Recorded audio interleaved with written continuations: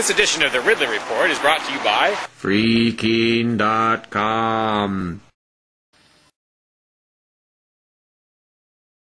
Now, are you guys here for the, the pro business thing? Uh-huh. You're both reps.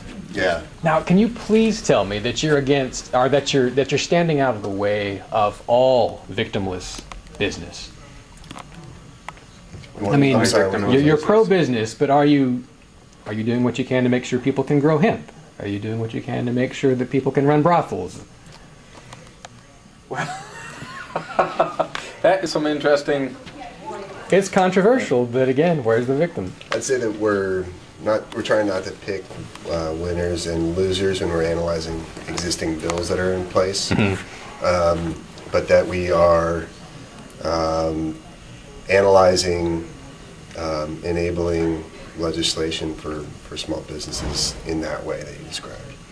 But I mean, have you ever have you ever voted in favor of a law that would restrict a business or a bill? I, I can honestly say, since I've only been here a short time, no, I have not. that's probably yeah going to be easy to say but uh, i mean I, I guess I ha- I have a concern that pro business should mean pro business i mean there's so much business that is illegal right now that's not allowed and we'd be rolling in the dough if it were allowed Yeah, no, I mean, I, um, last session, I think I, I voted with the medical marijuana bill in session, but um, maybe a- of a similar uh, vein to what your questions are about. Um, I've worked on a lot of uh, housekeeping or enabling type legislations reference the beer and liquor industries, yeah and um, I guess what, one of the things we try to focus on too is current businesses that are having difficulties with current state laws or something, mm-hmm. something that we can affect right away for them. yeah We have been trying to focus on that too, to clear up problems that they're having with state regulations, state bureaucracies and stuff. So by, and it's not always a large chunk, a lot of times what this group's, and like I said, I'm kind of new, this is my first term, uh, this group takes on might be something pretty minute and might only benefit four or five businesses.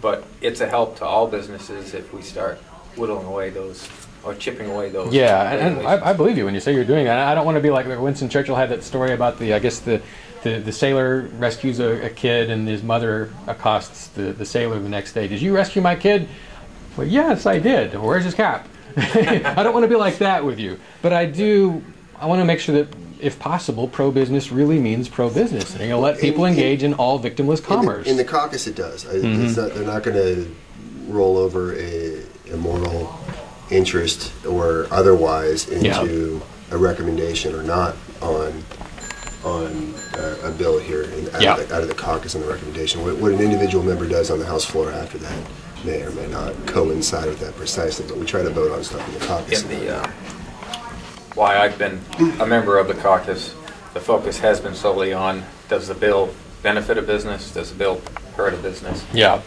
And so you're both voting for complete marijuana legalization right if you get Well, the I didn't chance say that.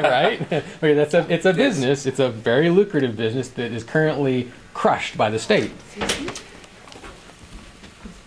It is, and I know states are experimenting with it at, at the current time.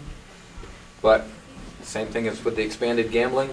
You really got to look at what the bill is when you when it comes across the Yeah. the floor because you could say you're legalizing it and then put so many regulations and stuff in it. You're you're still not. Right, That's a yeah. good point, though. And, Yeah. and then if the casino possibly hurts small businesses that are nearby. To them. Right. And if I'm, I'm saying legalization, that's actually the wrong word. I'm trying to say decriminalization, which gets the government out of it completely and treats it like a tomato. But yeah.